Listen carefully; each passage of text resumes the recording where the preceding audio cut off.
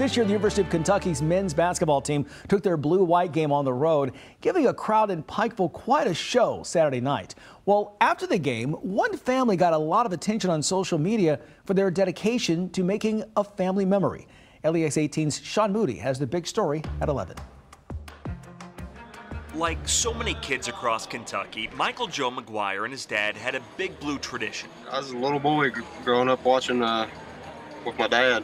Never did miss a game watching on TV. Micheal lives in Pikeville with his wife Mollie and their two kids. When UK announced they would hold this year's blue white game in eastern Kentucky, Mollie saw an opportunity to surprise her family. I hopped on and grabbed some tickets because I knew it was important to him and his dad, and I thought it would be a great experience for him to share with our son. Micheal works as a roof bolter in a coal mine. I, I started about a year ago, and it, it kind of blew my mind. It's literally just like a big giant cave he ended up working late Saturday and had to run straight from the mine, covered in soot, to the arena to meet Mollie and their three year old son, Easton.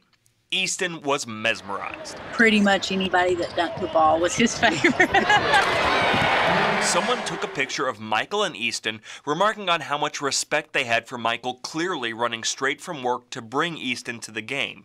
The Facebook post took off. My phone started going absolutely crazy. It didn't take long for that photo to reach Coach Cal himself. He shared it. My family's American dream started in a Clarksburg, West Virginia coal mine, so this picture hits home, he said. And my phone rang, and I had no clue who it was, and I answered, and he was like, "Hey, it's Coach Cal," and I was like, I just sat there. I was like, "Uh," it was a complete shock.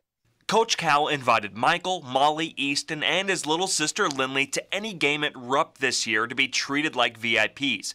For the McGuires, it was a chance to feel the love from the Big Blue Nation. It's been wonderful, you know, for him to see, you know, it's not just us. Everyone appreciates it. You know, it's hard work and it's it's a blessing. And most of all, an opportunity to pass on old traditions family means everything to me. So I just wanted to make sure that they would have that memory, you know, just like Micheal and his dad share. In Lexington, Sean Moody, LEX 18 News.